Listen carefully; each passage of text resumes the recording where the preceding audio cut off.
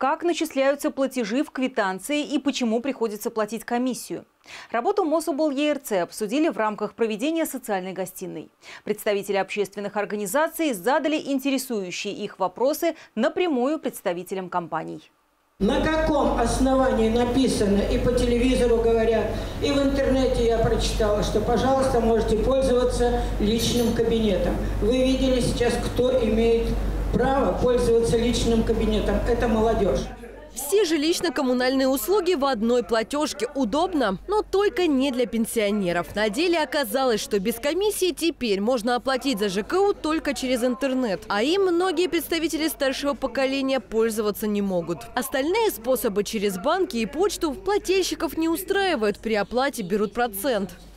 Почему я должна 30 рублей еще нести, платить за то, что я принесла деньги?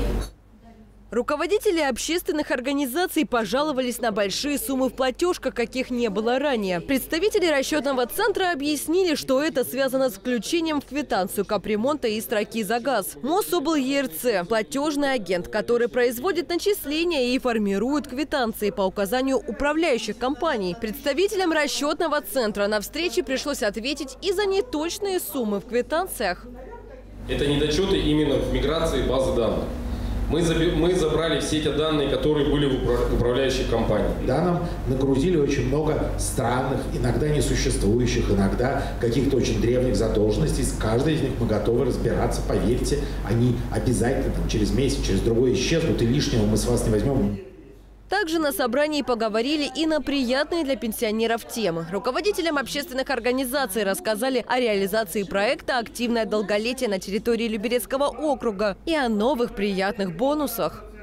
С октября месяца губернатором Московской области Воробьевым Андреем Юрьевичем э, значит, э, будут эм, предоставлены юбилярам, начиная с 80 лет, 80, 85, 90, 95, будут предоставляться подарки, вот, которые будем вручать мы. Формат общения без галстуков для общественных организаций работает благодаря Министерству социального развития Московской области. В социальных гостиных с 2018 года обсуждаются насущные проблемы, волнующие старшее поколение и тех, кто находится под опекой соцзащиты. Анна Троян, Сергей Гвоздев, телеканал ЛРТ. Привет! Я Анна Троян, вы смотрите ЛРТ.